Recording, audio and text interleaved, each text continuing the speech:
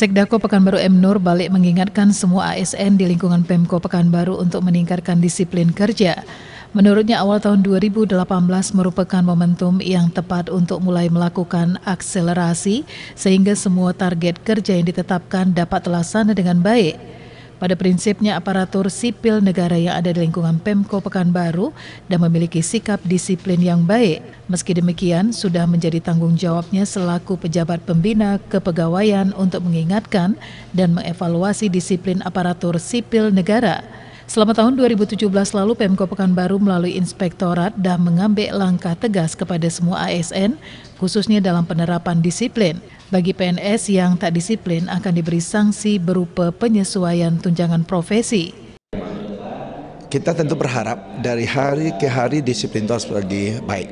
Apalagi uh, dengan uh, kita moto visi misi wali kota sebagai kota yang smart city atau uh, yang uh, kota pintar, tentu diawali dengan uh, sebagai tindak lanjut dari smart city itu bahwa ada trilogi yang terus kita komandangkan. Di antara trilogi itu uh, diawali dengan bagaimana seseorang atau bagaimana insan, bagaimana PNS Kota Pekanbaru itu menegakkan aturan secara baik.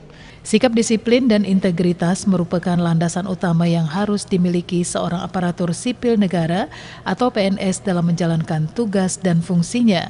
Heru Rinaldo dan Al-Hafiz melaporkan.